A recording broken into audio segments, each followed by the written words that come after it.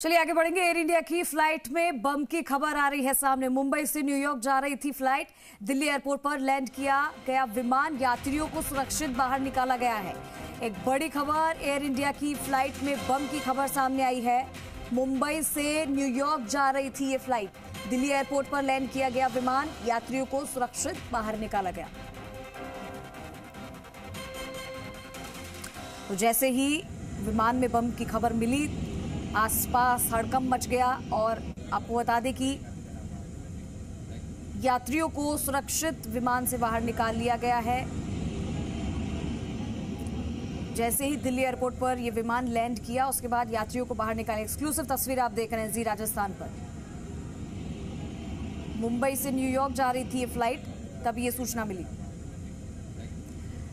हमारे साथ प्रमोद शर्मा दिल्ली से जुड़ गए हमारे सहयोगी। ज़्यादा जानकारी के लिए सीधा रुक करेंगे। प्रमोद एयर इंडिया की फ़्लाइट में बम की खबर मिल रही है। क्या जानकारी इसको लेकर अभी तक सुरक्षित निकाला गया है यात्रियों को बाहर?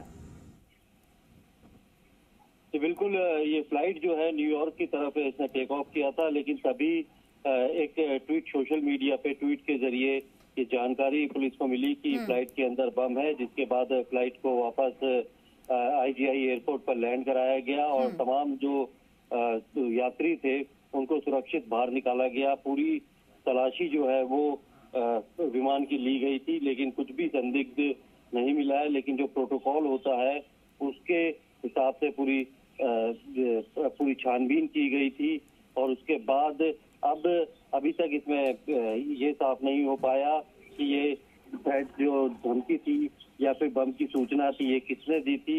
कुल जो दो सौ उनतालीस पैसेंजर जो है वो फ़्लाइट के अंदर मौजूद थे, उन्हें सुरक्षित बाहर निकालने के बाद जब तलाशी ली गई तो संदिग्ध चीज़ कुछ नहीं मिली और इसको जल्द ही जो है पुलिस हॉक्स कॉल के तौर पर जो है डिक्लेयर कर देगी और फ़्लाइट जो है वो उसको क्लियर कर दिया गया है पूरी जाँच के बाद कि उसके अंदर कोई भी ऐसी संदिग्ध वस्तु नहीं है।